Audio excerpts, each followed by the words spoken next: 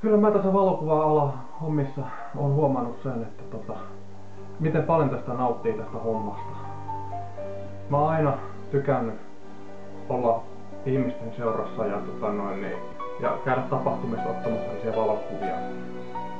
Kyllä tässä on niinku, valokuva muokkausta ja tota, noin, editointia ja mainosten tekemistä ja tuon tuollaista. Ja kyllä mä jokaisella kerralla kun mä ulos lähden, niin mä todella nautin luonnosta ja ympäristöstä, missä, missä elän. Ja tota, noin, kun minä menen jonnekin valokuvaamaan, niin haluan ottaa sen parhaan valokuvan.